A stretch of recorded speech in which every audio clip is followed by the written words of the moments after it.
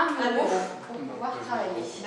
Ensuite, vous avez le couchage à l'étage. A priori, c'est une visite d'appartement comme les autres, sauf qu'ici, l'agent immobilier est une étudiante. Cet été, Marika travaille pour le club étudiant OSE.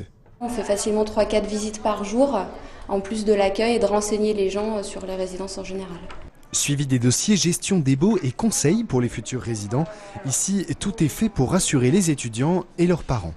Les personnes sont dedans, c'est pas des, une agence ou qui n'est pas dans la, dans la résidence ou quoi, on est rassuré. Un job d'été qui privilégie le contact humain sans oublier pour autant son aspect commercial. Mais attention, il n'est pas nécessaire d'être spécialiste pour maîtriser les ficelles du métier. Oui, il reste de nombreux studios disponibles. Euh, C'est pas leur métier de faire des baux et de faire des, des dossiers locataires.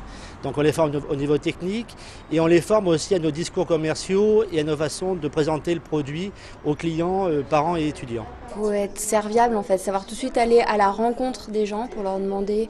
Des gens qui rentrent, ils viennent juste, euh, ils se plantent devant le tableau, ils commencent à chercher. Donc nous, il faut qu'on les aborde, qu'on propose de les aider. Une expérience valorisante pour un contrat de 35 heures et une rémunération au SMIC. En tout cas, Marika en est sûre, ce job d'été pourrait bien lui ouvrir certaines portes.